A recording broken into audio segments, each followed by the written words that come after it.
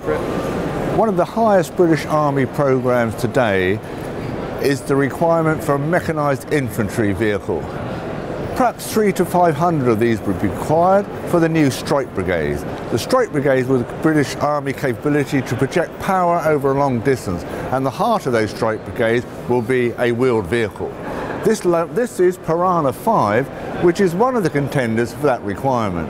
Piranha 5 was developed by General Dynamics European Land Systems MOWAG and is the latest in an expanded range of vehicles. So what has the 5 got? It's got more volume, more power and more payload, so it can undertake a wider range of roles. It's got a modular armour system, so you can package the armour system to what you want. Some of the older Piranhas were amphibious, but today people don't want that requirement. So th this vehicle, if you look, it's fitted with a, a Kongsberg uh, remote weapon station, which is armed with a 50 cal machine gun, and it can also be uh, fitted with an anti-tank guided weapon.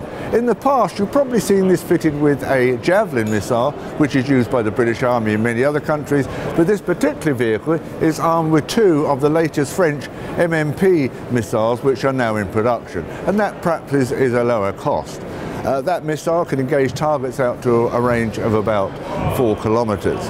Um, inside it's got an electronic architecture and it normally fitted with cameras to provide the crew with situational awareness through 360 degrees.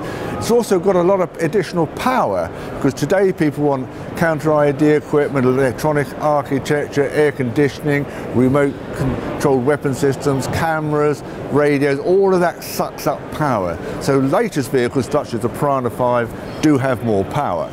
So the Piranha 5 was developed as a private venture and the Danish Army had a requirement for a new vehicle to replace its M113s. They tested five vehicles from all over the world, traction wheels. And at the end of the day, that competition was won by Piranha 5. So the Danish Army are the launch customer of that and they're ordering, have ordered over 300 vehicles and the first ones came off the production line earlier this year because I was actually there.